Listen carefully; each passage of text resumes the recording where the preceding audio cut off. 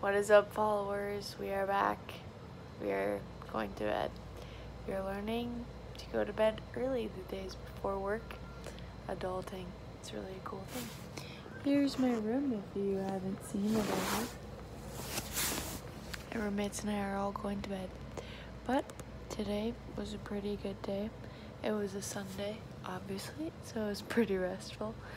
Um, we didn't work, but back to Walmart tomorrow. Yeah, we'll keep you updated. There's the daily vlog.